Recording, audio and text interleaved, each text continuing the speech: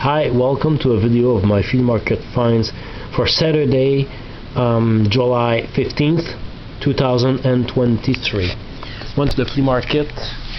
It took off really slowly, arrived there at 6.42 a.m. Uh, after looking through a few lanes, I found a biography by uh, George Thurston, and To la Vie. And um, was just uh, yeah, yeah but he he died of uh, colon cancer but he was a big big disco uh, singer uh, star in the mid 70s in Quebec. I'm looking for the photos. Oh there we go. There's a bunch of photos there. Cover.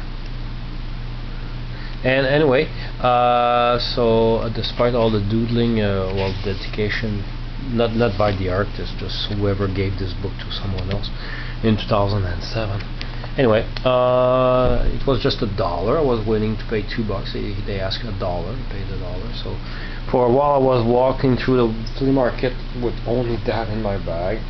Another guy had a bunch of these uh, reusable Dollarama bags. They're actually pretty pretty practical to put LPs or other things. And the 50 cents each, I took uh, two, just like that, just just for fun. So after those two purchases, uh, I found this. I thought my dad needed more, but actually we have plenty. We'll put our leftovers in there and stuff. Uh, just an empty margarine container. The cheap lady was I wanted three bucks for this. I offered two bucks. She said yes. My dad was told me he didn't need any anymore. I didn't know. Um, so I assume uh, anyway. Big two bucks. Uh, the next purchase was amazing. Now, now it started getting more interesting. It was way past 8 a.m. So yeah, it took a while to before it, it, it, took off. But somebody was selling uh, old stuff and, and stuff that his late father had, and his late father was very handy, and he made this miniature version of one of his own uh, pieces of furniture with scraps of wood. His his late father around 55 years ago, so we're talking about the late 60s, built himself this this this amazing piece of uh, folk art. It's amazing. I love it. The more I looked at it, the more in love I was with it. I, you know, I, I was trying to leave it behind. I just couldn't even leave his his table. So I have to buy it was $20 for this. It was folk art. It's gorgeous. I'm in love with it. That's my favorite find of the, the day. $20. Wow, I, I really love it. A miniature, uh, whatever you call these. Not a desk, but a... Uh, anyway, a piece of furniture. Don't have the term. Uh, what was the next find? Oh yeah, that was amazing. I saw an old uh, wooden toolbox and I saw some jars and I went and then I started looking. There we go. It, I didn't even clean it yet. It's filthy. We have with the both front and, and, and back labels. Beurre d'arachide peanut butter Kraft. So this is between 1971 and, and 1978 that I've been looking for for this specific jar with this label and it, thank goodness it's smooth it's not crunchy uh, I have one, but has some mold at the back of the label. This one I'm hoping there's no mold. I haven't emptied the contents yet to, to check with a flashlight and see to make sure that the label is okay.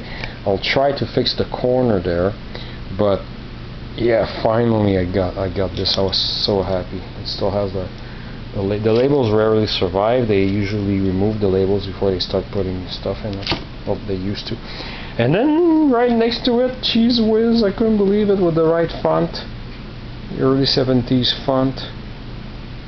With the, the, the curved W. I couldn't believe it. Wow, that's rare. That's really rare.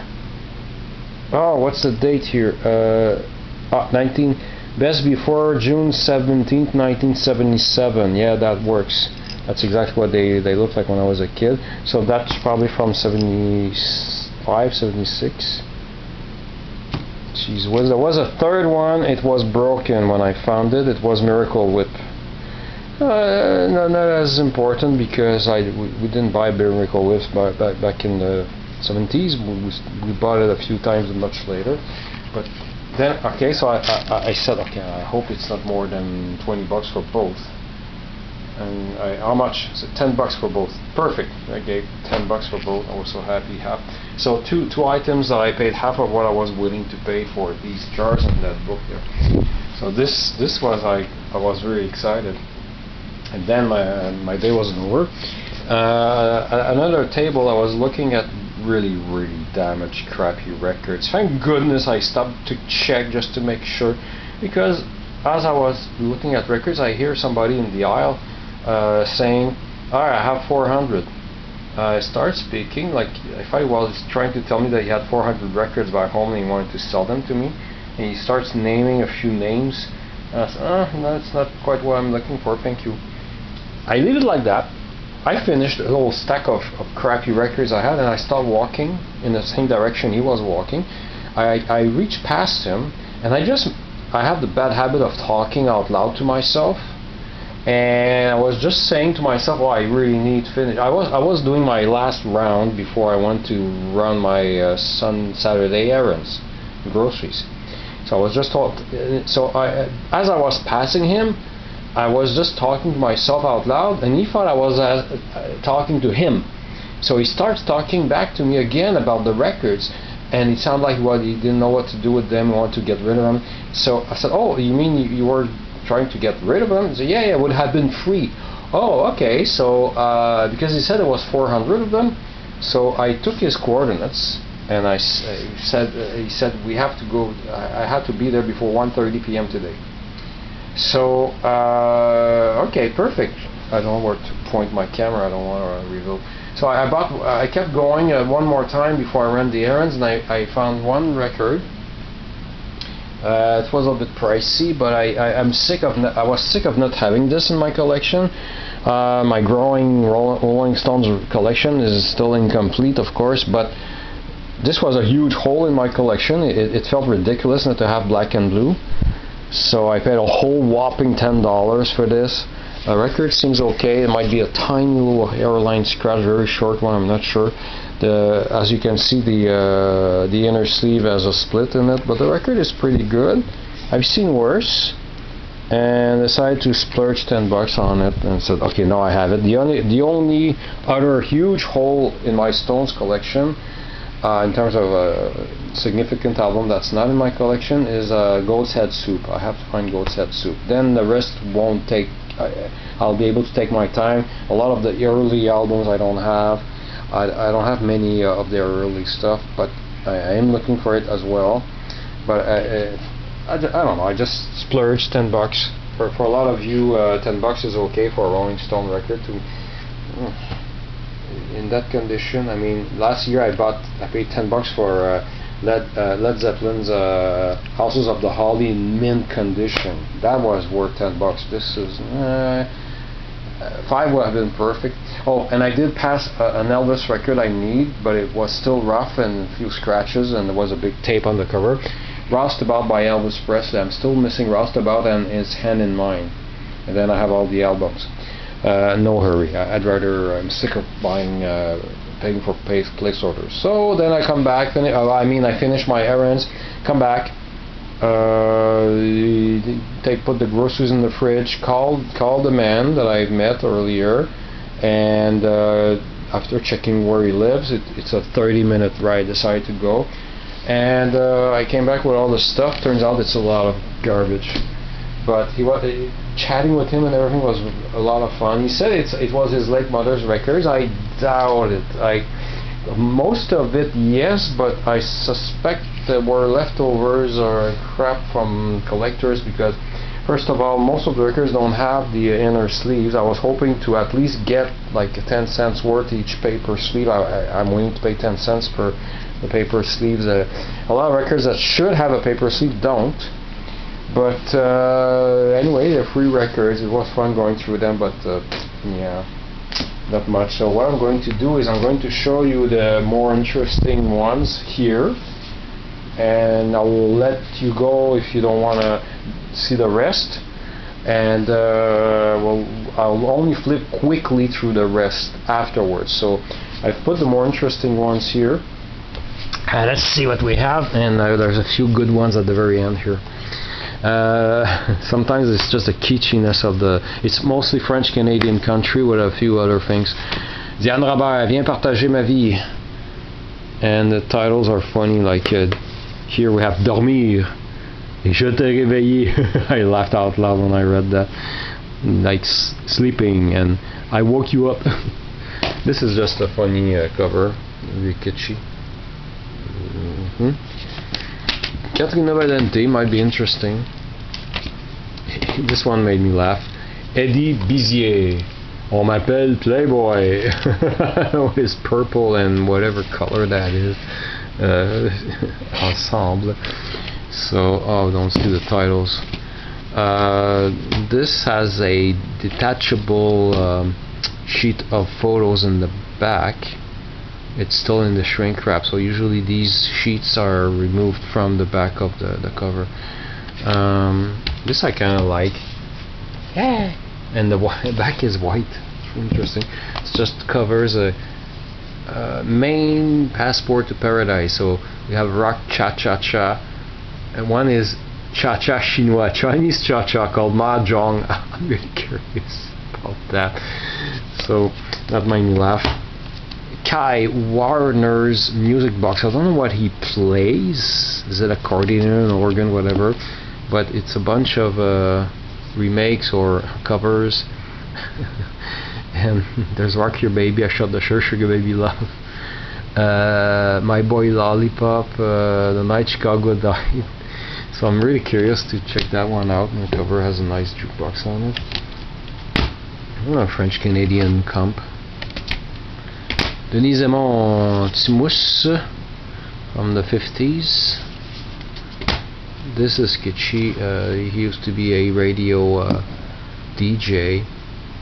Very, and he, he, turned out to be the manager for uh, Roch Voisine, a big star, in, a French Canadian star who uh, made it big in France. Anyway, um, yeah, I turn. Oh God, he's ugly. Oh crap. The problem is there's a few scratches on the record. Les frères Grenier, I don't remember where I put the... Oh yeah, so kitsch. Le diable dans la ville, un pied mariton, la petite jument. oh my goodness. Madame Bolduc, copies of there's a third copy, uh, worse copy somewhere in there. A lot, like three, four copies of the same record. That's why I'm not sure. I don't think it was all his mother's record. Uh, Étienne Bouchard chante uh, Françoise Gaudesmet. I'm curious. Joe. On est Western, Edouard Gaston Gay. And there's a funny title in there. Uh, sur mon skidoo, on my skidoo. Elle n'avait que 16 ans. She was only 16. And he's standing in a uh, record store. We can see a whole bunch of uh, a rack of 45s from the early 70s, judging by the label. Uh, so that's very interesting, just uh, for the photo there. This is just a funny cover. Thérèse Bossé. just, it's just a funny kitschy cover. I don't know.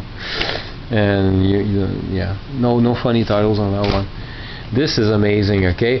Um, so it's not the music or the musicians that's interesting, although these musicians were in Europe, I think, yeah, France, and then they came to Canada in the 60s. The thing is that uh, this is taken in a uh, old Montreal restaurant. This guy right here, and I couldn't believe my eyes. This is Yvon Deschamps, a, a huge monument of, of French Canadian stand-up comedy. And he, before he even started his um, uh, career in the 60s, he had the one or more restaurants uh, and in 67 of course was Expo 67 lots of customers and then Expo 67 ended and he went bankrupt in the, a few months later. But so that's that's how we uh, my dad agrees that this is Yvon Deschamps. It's unmistakably him. So this is an awesome cover this is well René Simard uh, child uh, singer in the 70s this is his first record it's just that even though a lot of these are in rough shape this one is in terrific shape. Oh, I don't know why that. Uh, that's a mistake. It shouldn't be there. This is an interesting cover, but I already have it unfortunately. Rosaire Laplante, alias le chef l'humour. Real Canadien. It's just a cool cover, but I already have it. This I, I put it aside just because it's sealed, I probably will have a protective sleeve in there. Uh, doesn't matter what it is, just instrumental music. John Fitzgerald Kennedy, the presidential year, 6063 original speeches. I think it has a few scratches on it. This I, uh, yeah, all discover. I already have this. This is Michel Louvain, a crooner, a French Canadian crooner. He died recently. Uh, it's just a, a, compilation, but it's a rare compilation. I've never seen it before. Cool photo right there. It's just an amazing, and it's good shape. Great photo there. I love the yellow and, and green lights there. Just I never, never see that. This I don't know what it is, but I put the like, like there's one, two, three, four copies of whatever that is, but this one is sealed, so I can play one of the others and see if it's any good, and then wait. I don't think it is like this. Thérault et leurs copains. So that's probably the guy's name is probably uh, Thérault signifie les noms de Thérèse Lebrun et Rosaire Lemaire. But I what? That's a woman? Holy crap. Okay, that's interesting. Anyway, this is I love the cover. Gérard Lajoie au Carnaval. And you have Bonhomme Carnaval on the cover. It's a great uh, photo. I didn't have that one. Shrink wrap still on it. Just Vive le Québec libre! President Charles de Gaulle came to Quebec in 67 and he, he had a, a, famous famous speech where he said Vive le Québec libre and people flipped their lids. It was ah! Anyway, this is a record of it. Actually, it's a reissue. It's not the original cover. Disque d'or Western Les Bel Air. So that's a little bit more interesting. I'm not sure if I have this one or not, but it's in better shape. Uh, I think I have it, but this one is in better shape. Now we get to like what's left. Uh, Les Napoléons à Gogo. So this record goes for 30 plus dollars maybe more. It could go up to a hundred dollars. The price is all over the place on on Discogs. Unfortunately, I already have two copies of this. Uh, so yeah, but it's worth something. And then I I, I was ecstatic for, for 10 minutes until I looked at the closer of the record under the light of my bedroom saw some little tiny tiny little scratches and ah crap I thought this really, really, uh, well, th this is a prog, uh, French Canadian prog record. You know, I mentioned Yvon Deschamps earlier on his first monologue uh, records. There were some musicians. Vos voisins were the musicians accompanying him. Anyway, uh, I have two copies that are in condition.